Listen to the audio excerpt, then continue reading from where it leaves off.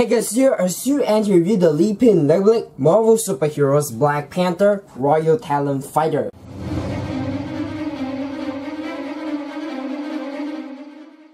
So this is the box itself right here and as you can see it's recommended for G6 and up and comes with 401 pieces and this is set 07099 comes with 4 Mafex and the 4 Mafex are Black Panther, Nakia, Killmonger, and Ulysses Klaue. So the box art itself uh, is pretty cool. You have the Lepin logo at the corner and yeah, the box art here you have the city background. So this is the top of the box. Uh, it shows you all of the Mafex and does have a handle right here, which is definitely great.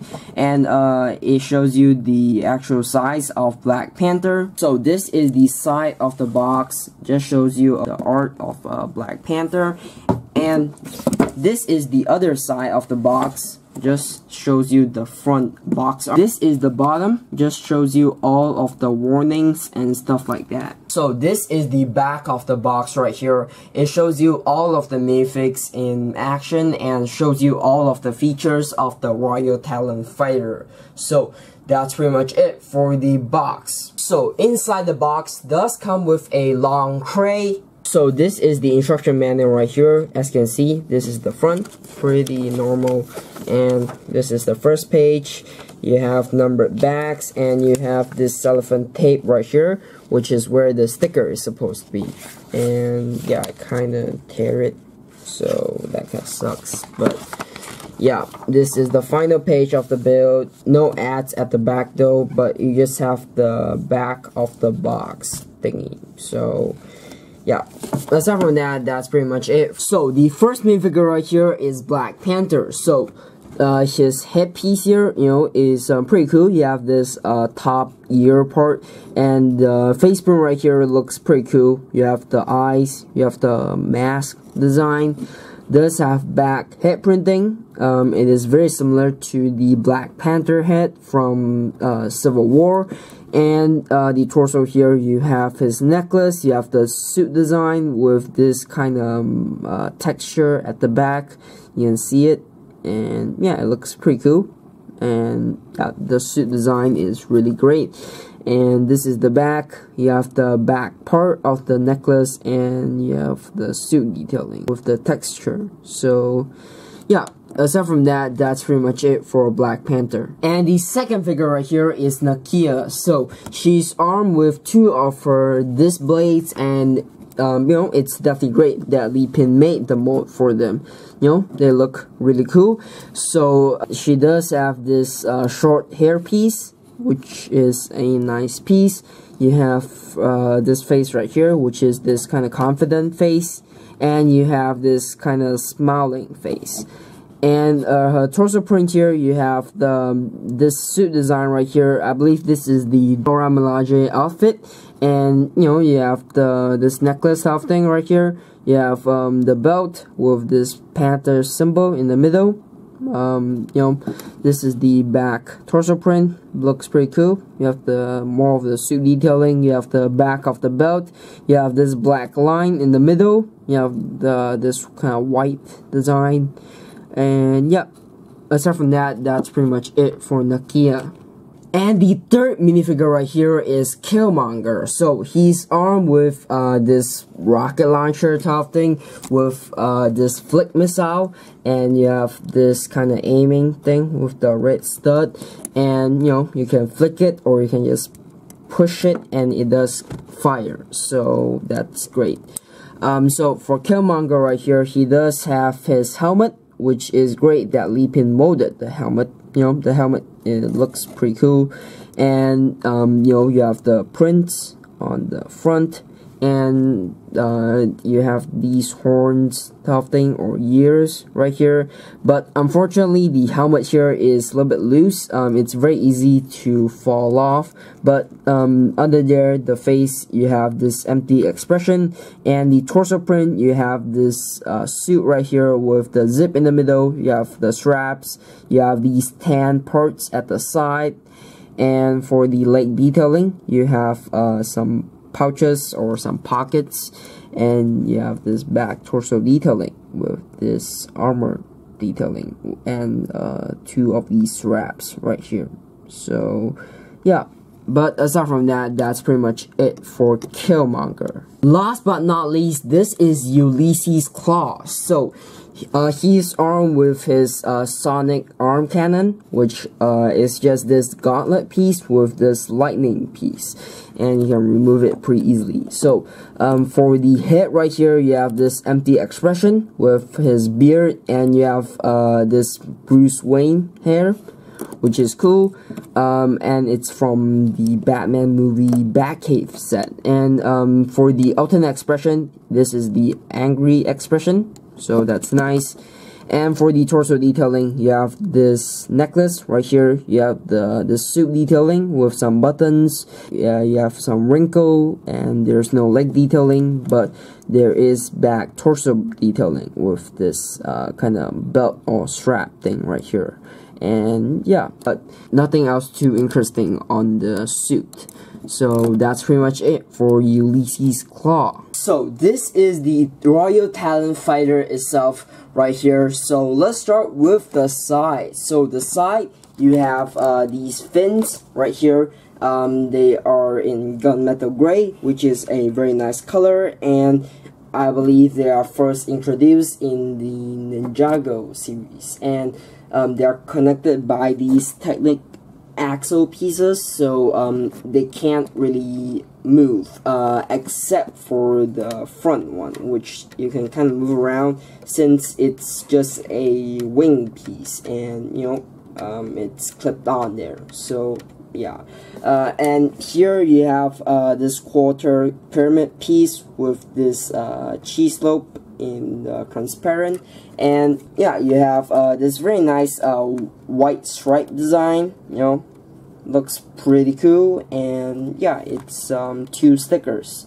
Uh, so the other side it's also the same and the front here you have uh, these two cheese slope and you have this very nice canopy piece in translucent black and you have uh, this very nice sticker over here as well. And you have uh, two of these arch pieces and under there you can see you got these stud shooters which is nice. And you also have uh, these transparent one by two you have two of these uh, winglets next to the uh, canopy piece. You can just put them in this position and you can still open the canopy uh, and I'll show you the interior later. Um, so here you have uh, this kind of rail piece. There's uh, two of them. You have this crab door. You can open the crab door with this handle here uh, and I'll show you what's inside later. But you have uh, two of these Nexo shield pieces with stickers on them. And you have these uh, grill pieces. And the back here you have these wings which you can move around but they are supposed to be in this position. Um, you don't really have to adjust them or, or anything like that. But you have uh, more of these grill pieces and at the back you have uh, this cruster top thing. They are just grill pieces with uh, purple plate pieces at the back. So that's cool. And you have this frame piece right here which is nice but it falls off very easily because it's only connected by two studs. So yeah. That's that. So this is the bottom. Uh, you have these transparent pieces which kind of raise up the ship.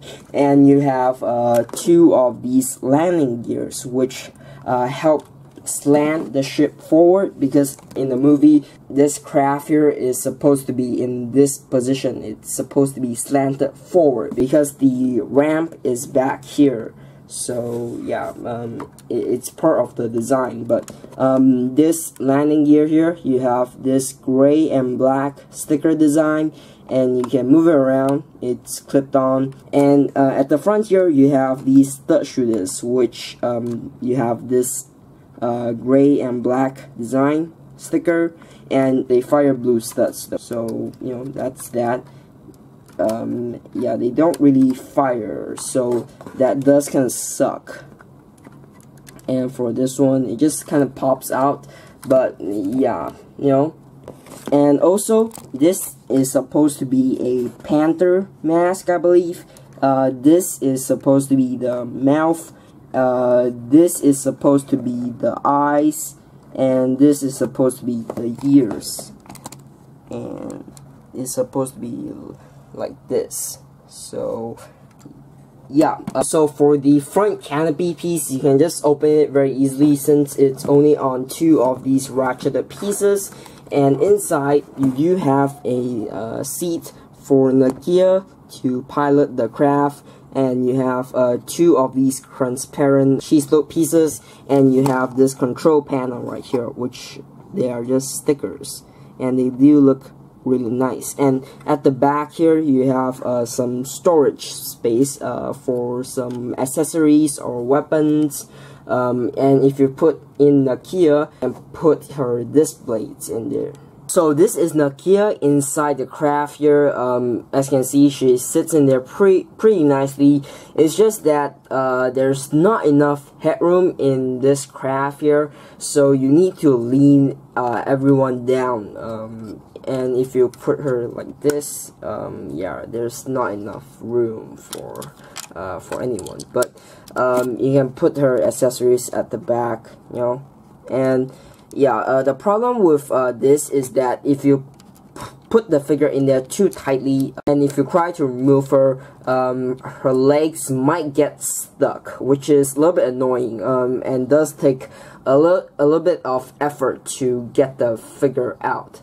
Uh, but yeah that's just that. Um, so let's uh, take a look at the back compartment which is this prison compartment. So in there uh, there's really nothing too interesting. You, you just have uh, this prison bar and you can put in like Killmonger, Ulysses Klaue or Black Panther and you know uh, so let's uh, put in Killmonger. But if you want to put in Killmonger, um, you need to remove his helmet since it's just way too big and there's not enough headroom in there. And I'm not even sure how you can fit two figures in there. Maybe you can try to kind of crow them in, but it will be a very tight fit. Um, but yeah, here you can just uh, crow in his helmet and he sits in there pretty nicely. But uh, another problem with uh, this craft here is that if you push this thing too hard to the ground, these landing gears, they will come off. Um, so that's kind of annoying. But aside from that, that's really it for the Royal Talon Fighter. So, overall conclusion of this set here, so how do I think of it? Well, I think the quality control of the set here is pretty good. I mean, the figures here, they are great. Um, they have very nice prints and Lepin made all of the molds as well, which is definitely great, including uh, this, uh, this blade and also this uh, uh, Killmonger helmet or mask mold. Um, but it's just that this mask here is um, way too loose. Uh, maybe they could have made it more tighter and yeah, uh, but you know, it, it's still definitely great that they made the mold for this.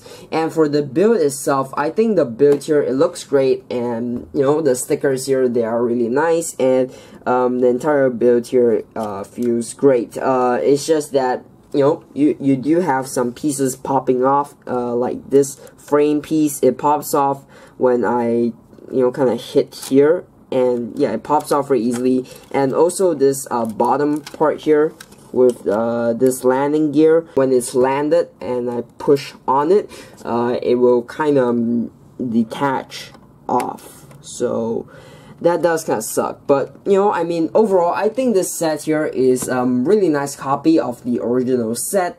Um, the original set the price of the original set is pretty good. But if you if you can't afford that um, I think Lepin is um good way to go. Um, you know, the the quality of this is pretty good. So overall, I do recommend you getting this if you want it. And yeah, uh, this is an awesome set. So, buy links for this set here down in the description box below, along with all my social media pages down in the description. So, if you like my channel, make sure to subscribe right here and watch more videos right here. So, that's it for the video. Thanks for watching, and I'll see you very soon.